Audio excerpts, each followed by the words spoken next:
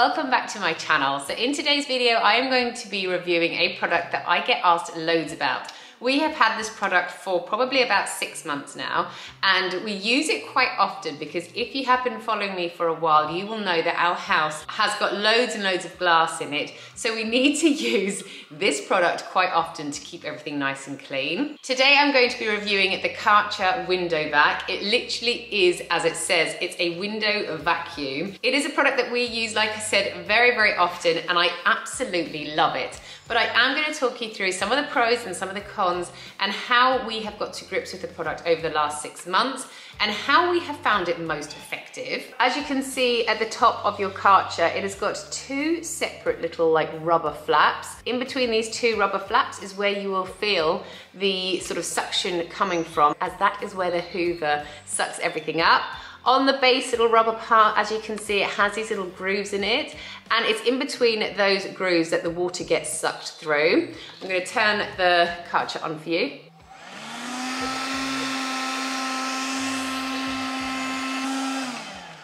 So as you can hear, it is relatively quiet and you just need to charge this up at first for eight hours, but then once it's fully charged, it does last for a very long time. I would say us using it every week, on our big sliding doors, which probably takes about 20 minutes for us to clean, we can do at least three cleans with this one battery before having to recharge it. So it has got a really good battery life. So we bought the set that included the glass cleaner too. This was $59.99 for us and it comes with the window vacuum, so the main body of it, which when you vacuum the window, this is where all the excess water gets stored into and then you just empty it away. It came with 500 mils of glass cleaner and it also comes with this sort of like bottle and it's got a spray here and then it's got this padded bit here which you will wipe on the window. So you use this simply by filling it with um, part window cleaner, part water, spray onto the window, wipe like that, and then you get your Karcher back and you vacuum the water away. However, I would buy the slightly cheaper one, £10 cheaper, and you wouldn't get this glass cleaner because if I'm completely honest, I find just using a bucket of warm water and some washing up liquid works much better than this window cleaner. So I do find that if I use the window cleaner and this little gadget from Karcher, it leaves the windows quite streaky because what we have found over the last six months is that you do need your windows to be quite wet for them not to become streaky once you vacuum them. So since working this out, what we bought from Amazon was this little hand pad. So it's very, very straightforward. You just simply slip your hand into here and then like I said, we make a bucket of warm water with a little bit of fairy liquid and then we dunk our hand into the bucket and that's what we use to wet the windows with. So it does make a little bit of a mess on the floor, but it's really, really easy to just kind of like clean up afterwards. It doesn't soak your floor at all, but whether you use actually this or this, you will still get some water drops on the floor anyway. So like I said, we dunk this into the warm water with soap and then we generously put the water and soap mixture onto our windows before vacuuming it off. And this way you are left with absolutely no streaks from the Karcher window vac at all. What I want to do now is show you how I use this product. So I'm going to show you what our windows look like.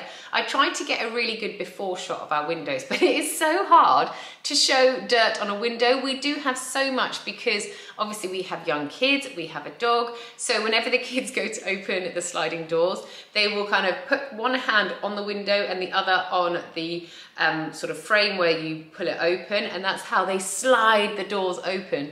They don't just think to put both hands on the sort of bar to open the door. They always have to get that one hand onto the actual glass too. So I'm going to show you exactly how we use this product and how it leaves your windows. So as you can see, I'm now just dipping the hand cloth into the bucket of water and I am generously applying the water and soap liquid onto our windows. As I said previously, this does drop onto the floor a little, but it's really easy to just sort of clean up afterwards with a little cloth. I also find that by using this little hand cloth, it makes cleaning the windows so much quicker as well. I think with the Karcher spray gun, it just doesn't put enough liquid onto the glass, which then means when you go to vacuum it up, it's almost part dried, which then leaves streaks on your windows. When using this hand cloth, as you can make your windows quite wet, it means I can actually clean the whole window in one go. So I will generously put all of the water solution onto the window and then I will go in with the Karcher vacuum and I will go from top to bottom down the windows. When it comes to you finishing your run with the Karcher vacuum, it does leave a little kind of water residue. So what I simply do is I run the Karcher along the base of the window sideways to just get up any of the excess water that is left behind. As the Karcher is a vacuum, like I said at the beginning, it collects all of the water in the little front section, which you can then empty away really easily. As you can see, the water that it's collected is very dirty, which just shows how dirty your windows are. We do exactly the same process for both inside and outside of our windows, as well as all of our Veluxes and other windows in our home. This is also brilliant for cleaning mirrors as well. Once you've hoovered up all of your water, I then just like to go around and spot clean the windows with a little cloth. What I use is just this microfiber cloth, which you can pick up literally anywhere. You can go to the pound shop and they sell them there, or you can pick them up if you're doing a shop in Tesco's or Aldi or wherever. They're very, very inexpensive and they are great for just getting off any little marks that you have seen that the Karcher has not picked up. Sometimes if you have sort of more oily handprints, the Karcher isn't that great at getting those off, which is where your microfiber cloth will come in handy. We have definitely got this to a very good price per use for this item as we use it at least once a week. We used to have a window cleaner that came every eight weeks but I actually think this cleans windows better. We do now have him coming probably every 16 weeks, but that's purely to do the outside of the upstairs windows.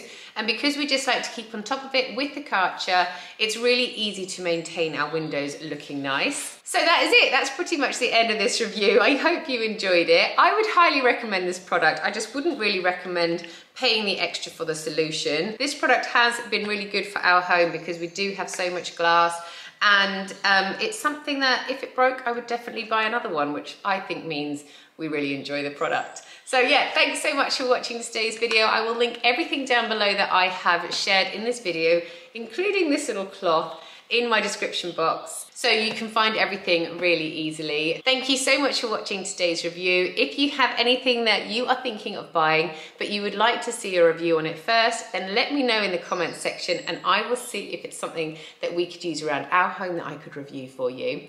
Thanks again for watching guys and I'll see you next time. Bye!